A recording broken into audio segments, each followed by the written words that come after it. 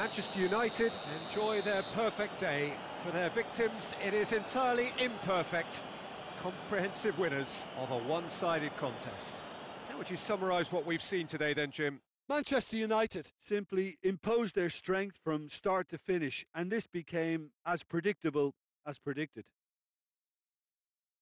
And all that remains for me is to thank Jim Beglin. That's it from us tonight. A very good evening to one and all.